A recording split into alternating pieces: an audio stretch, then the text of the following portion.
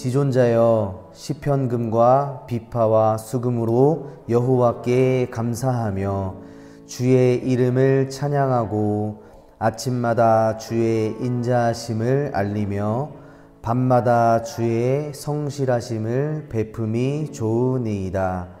여호와여 주께서 행하신 일로 나를 기쁘게 하셨으니 주의 손이 행하신 일로 말미암아 내가 높이 외치리이다. 여호와여 주께서 행하신 일이 어찌 그리 크신지요 주의 생각이 매우 깊으시니이다. 어리석은 자도 알지 못하며 무지한 자도 이를 깨닫지 못하나이다. 악인들은 풀같이 자라고 악을 행하는 자들은 다 흥왕할지라도 영원히 멸망하리이다. 여호와여 주는 영원토록 지존하시나이다.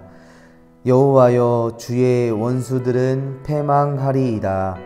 정령 주의 원수들은 패망하리니 죄악을 행하는 자들은 다 흩어지리이다. 그러나 주께서 내 뿔을 들소의 뿔같이 높이셨으며 내게 신선한 기름을 부으셨나이다.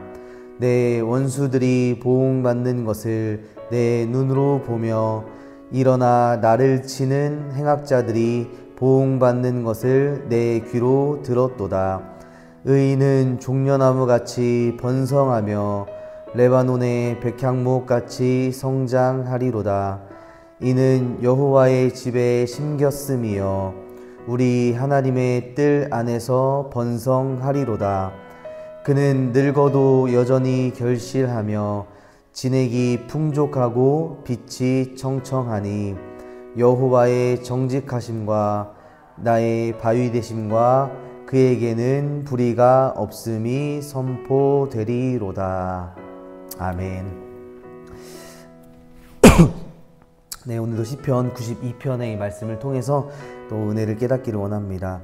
오늘 시편 92편을 이렇게 읽어보면요. 하나님께 예배하는 모습을 우리 연상을, 연상을 하게 하는데요.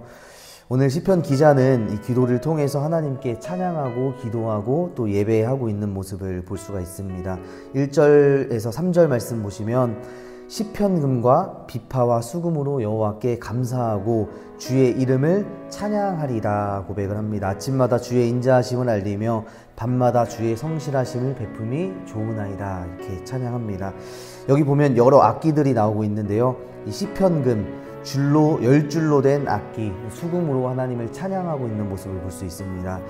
그 찬양의 가사가 오늘 시편의 말씀인데요. 주의 아침마다 주의 인자하심을 알리고 밤마다 주의 성실하심을 베품이 좋으나이다 이렇게 고백을 합니다.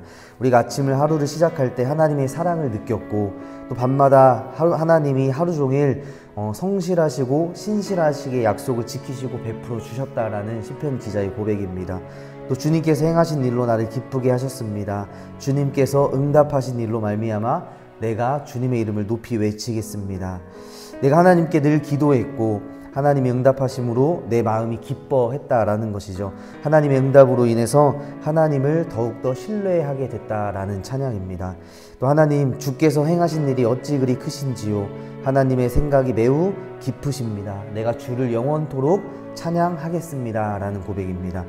이렇게 찬양하는 시편 기자는 어떤, 어떤 상황에 처해 있을까요? 아마도 이 시편 기자는 삶에서 무언가 해결해야 할 문제와 고민거리와 걱정거리가 있어서 하나님 앞에 나와 기도하고 또 예배하고 찬양하고 있는 듯 보입니다. 오늘 시편 기자의 이런 고백을 통해서 우리가 꼭 기억해야 할 가지 한 것이 어, 기억해야 할 한 가지가 있는데요. 그것은 오늘 하나님의 생각이 매우 깊다라는 것을 기억하시기를 바랍니다. 하나님의 생각은 우리의 생각과 차원이 다르다는 것입니다. 우리의 생각으로는 하나님의 생각을 다 이해할 수 없다라는 것입니다. 그, 또 우리의 생각은 하나님의 생각을 따라갈 수도 없습니다. 어, 대표적으로 사무엘상 16장 어, 말씀에 보면 이렇게 이야기를 합니다. 하나님은 내가 보는 것은 사람과 같지 아니하니 사람은 외모를 보거니와 나 여호와는 중심을 보시느니라 말씀합니다. 이 하나님은 중심을 보신다는 말, 이 말 번역 때문에 우리가 잘못 오해할 때가 있는데요. 하나님은 사람의 중심, 우리의 마음을 보시기도 하지만요. 이 말씀 오늘 사무엘상 16장 16장의 말씀을 보면 사람은 외모로 겉으로 눈으로 보지만 여호와는 심장으로 본다라는 그런 뜻입니다. 하나님이 심장으로 본다라는 말 어떤 뜻인지 우리가 다 이해할 수는 없지만 하나님의 심장으로 우리를 보신다라는 말씀입니다. 그래서 하나님의 생각은 우리와 차원이 다른 것이죠. 이 말씀을 가장 잘 표현할 길이 무엇인가 제가 생각을 해봤는데요. 아마 부모의 마음인 것 같습니다. 자녀는 부모를 눈으로, 겉으로 이렇게 보지만 부모는 자녀를 볼 때 이 마음의 심장으로 자녀를 어, 어, 봅니다.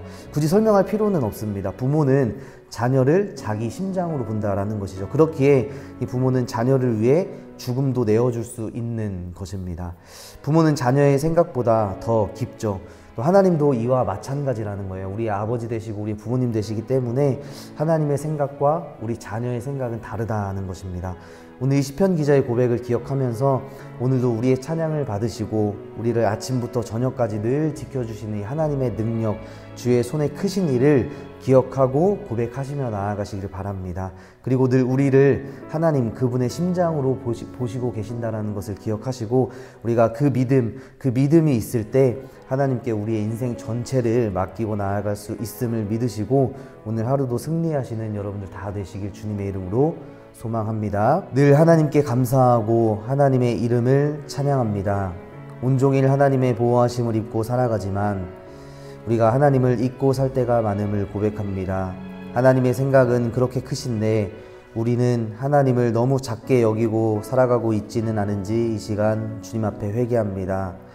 한낱 피조물에 불과한 저희가 창조주이신 하나님과 대등하게 생각하고 대등하게 행하려 할 때 오늘 시편 기자의 기도를 기억하게 하시고 매사에 우리가 우리의 생각에는 한계가 있음을 바로 알고 살 수 있도록 성령님 오늘도 도와 주시옵소서.